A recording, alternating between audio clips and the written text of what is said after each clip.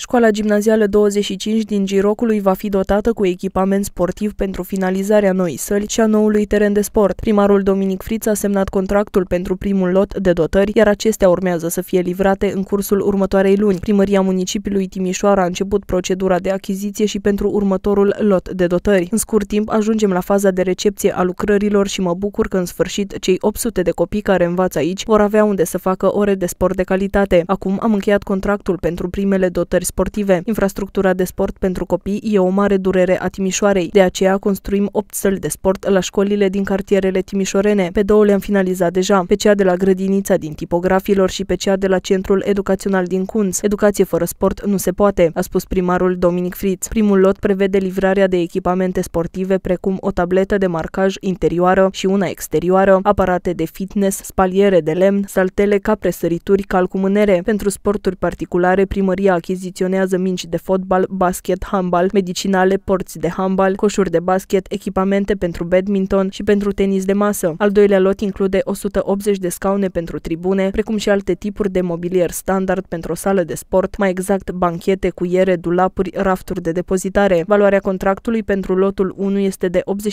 84.000 de lei și valoarea estimată pentru lotul 2 este de 63.000 de lei.